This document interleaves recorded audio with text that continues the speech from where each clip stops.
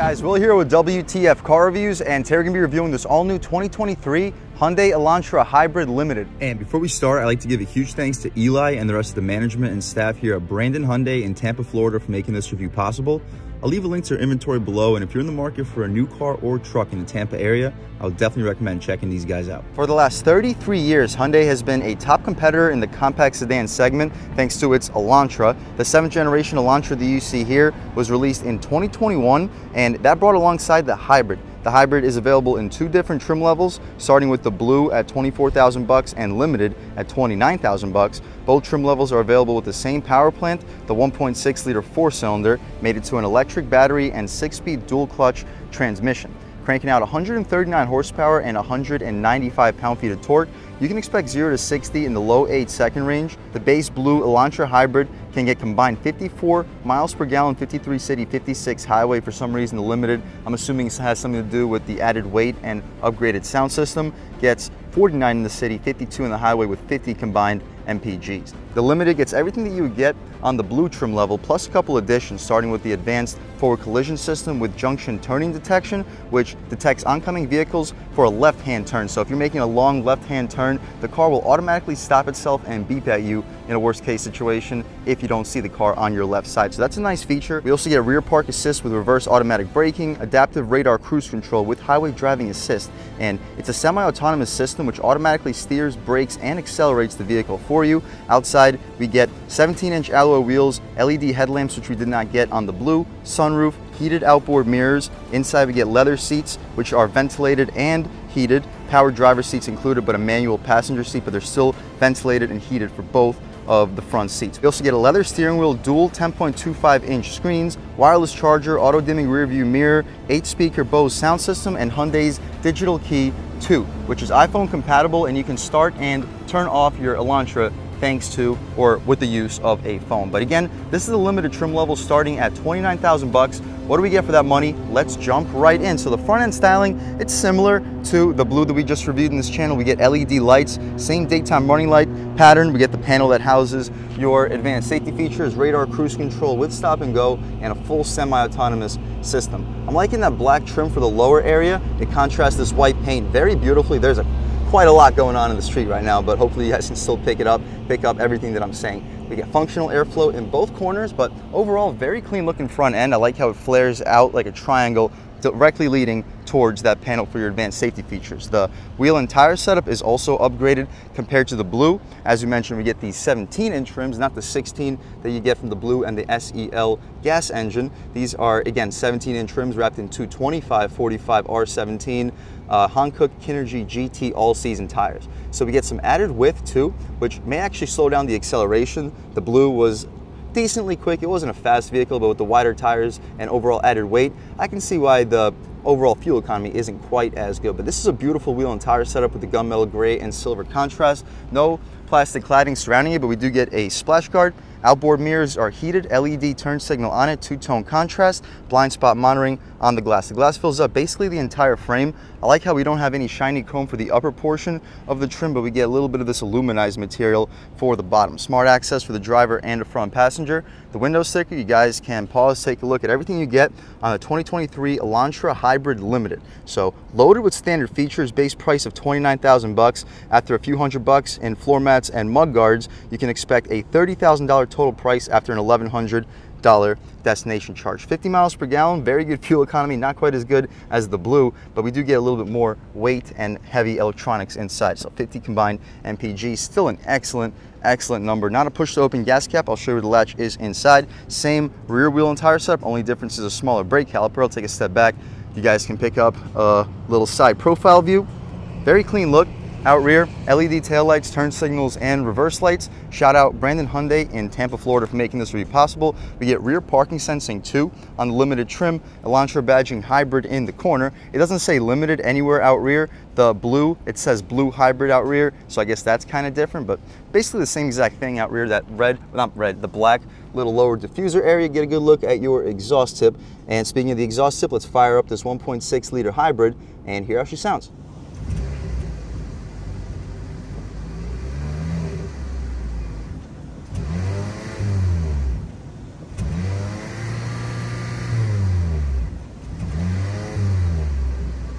All right, guys, that was the sound of the 1.6 liter hybrid sold by Hyundai for the 2023 Elantra Hybrid Limited. It doesn't really sound like a whole lot. The rev process is a little bit different compared to a standard gasoline engine, but cranking out 139 horsepower, 195 pound-feet of torque, which is the same number torque number as the N-Line. You can expect 0 to 60 in the low 8 second range. But here you have it, your gas motor next to your electric battery. What you see is basically what we get. Aluminum stick connects our strut towers together, but we can shut this thing up. No struts, even for the limiter, we just have a prop rod. But taking a step back and get one last look at that front styling. As far as interior, again, this is a limited top of the line limited so it's going to have an impressive interior. You'll check that out right here but although the interior is impressive up top we still get hard plastic. I kind of wish we had a soft touch material for the upper portion of the door panel especially considering the dashboard is actually soft touch so really not quite sure what they were going for with that. I personally touch the top portion of the door panel a lot more frequently than i touch the dashboard so it would be nice for the soft touch to at least be continued. We get some leather stitch trim for the center though. Padded armrest it's not quite as soft as the center portion so the order of materials kind of is a head scratcher to me. I kind of wish this material was on the armrest and the material on the dashboard was on the upper port of the door panel. But again, nitpicky complaints, we get the auto one touch for the driver, power windows for the passenger, same as the blue, aluminum door handle, two Bose speakers on your door panel, two person memory seats, four-way adjustable mirrors. No nameplate as we step inside. We get the gas cap release and trunk release, Full power seats, lumbar, recline, drop, lift, and slide for the driver. Perforated leather for the middle, some quilts for the, for the bolsters. Very beautiful seat. This is a very nice seat. It's not a power seat for the passenger, but it's power for the driver and heated and cooled for both of the passengers. As far as the interior itself, First thing we notice is the steering wheel. The Blue didn't have a leather wrap steering wheel and the Limited has a very nice leather wrap steering wheel. Super soft, perfect 9 and 3 bolster notch. It's a similar overall steering wheel, it's just the materials are much nicer. 6 o'clock spoke, we get spokes so we can have our arm on the armrest and still have a comfortable grip of the wheel. The horn, we can check it out. Pretty aggressive sounding horn. People will definitely be getting out of your way. We'll turn this air down by one so you guys can hear a little better. Voice commands, AM, FM, Sirius, volume and skip controls. You can hang up and answer your phone calls. On the right side, cruise control, radar cruise with stop and go, lane keep assist with active steering. This controls your little infotainment screen, which is complete 10.25 inch digital display. Press this OK button, you can see our 160 mile an hour speedometer and our not tach, but it's our like power indicator. It shows us our charging, eco, and overall power information. You press this button one more time, you get a turn by turn for the navigation system, which is nice. Energy flow, drive info, accumulated info, attention level, tire pressure, engine temperature, and drive mode. The drive modes include normal, sport, smart mode. We'll start the review off in normal transition into sport and just see what the overall differences are. We also get uh, select content so you can add more or take away certain things if you don't want to see them at all times. But my personal favorite to look at at all times would just be this advanced safety features screen. It's gonna keep beeping at us that the vehicle's gonna be turned off in 24 minutes, so I'll just leave it alone. The stocks have a very satisfying click to them. Unfortunately, we don't get a blind spot image like we do on some of the other top trim Hyundai cars, but it's still nice. Auto head auto headlamps and auto high beams. We do not get rain sensing wipers for the Limited. I kind of wish we did for a top trim Elantra, but the stock, the intermittent stock is right in the center. To left of the steering wheel, we get our interior lighting, 12 volt battery reset, lane keep assist, and our traction control you can disable, tilt and telescoping steering wheel, and unlike the blue that we just reviewed in this channel, the telescope goes out a little bit further, so it's comfortable for both my feet and the pedals and my hand on the wheel. The hood latch release is in the corner. You can get a good look at your pedals, but overall, very clean appearance. The dual 10.25 inch screens got like a little thing going on to the left. I'm not quite sure what this is, uh, but you can let me know in the comments section and let me know because I have absolutely zero clue. The dashboard is completely padded for the entire thing, which is appreciated. The blue had only padding for the front portion. The back portion was hard plastic. The 10.25 inch touchscreen, we can check it out right here. We got hybrid, map, navigation, phone projection, voice memo, climate, valet mode, radio, media setup, all that. You can see what's available. The hybrid mode, let's check it out. So we get the fuel economy average electric motor use and shows us our kilowatt usage and our energy flow. I'll, I'll probably leave it here for the purpose of this review when we take this thing out for a drive. The map, typical Hyundai Kia map, very nice response, solid resolution, not bad at all. GPS navigation is included too on the limited trim. But again, I'm gonna leave it in the hybrid mode. I think this looks the coolest at all times. Shortcuts if you don't want to go through the touchscreen, engine, start, stop, hazards. I like how the air vents go all throughout this interior. Same, well, similar design to like the new Civics. Dual zone auto climate control is available on the blue too. Heated seats also available in the blue, but the ventilated seats are available for the limited. That's an appreciated feature. 12 volt, two USB ports, and a wireless charging pad. The gear selector controls the six-speed dual clutch transmission. Backup camera, we can check it out. Solid resolution, and we get rear parking sensors too, guidance lines and trajectory.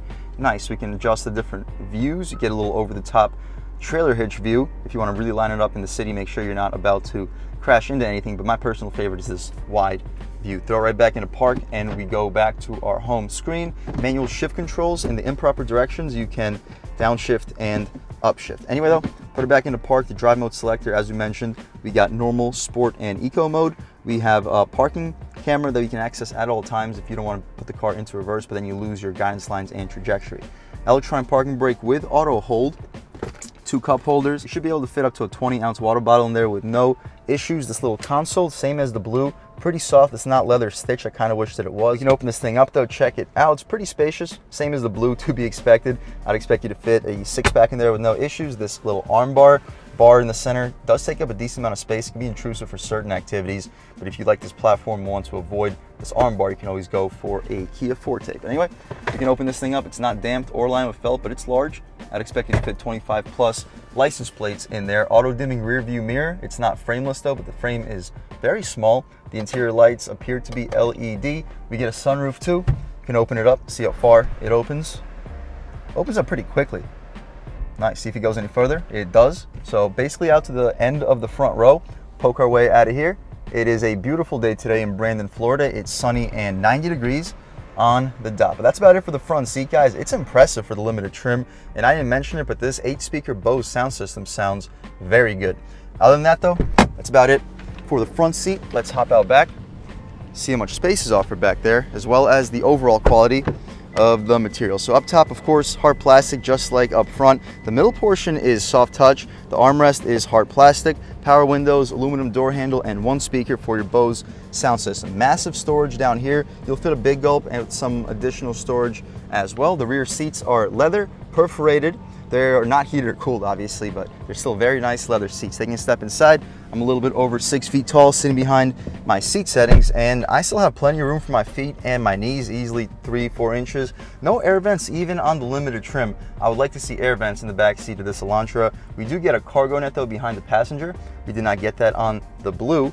We still have that little cubby in the center that takes up a little bit of your passenger space. The center cubby has pretty soft leatherette trim for the armrest. Pretty comfortable. The blue also didn't have a center armrest. The lighting, LED, nice solid light brought into the cabin thanks to that sunroof. Headroom, just like the blue. I have at least an inch, maybe two of headroom. So if you're under six foot four, you shouldn't have any problem sitting back here. I just wish they had air vents for a top limited trim. That's about it for the back seat.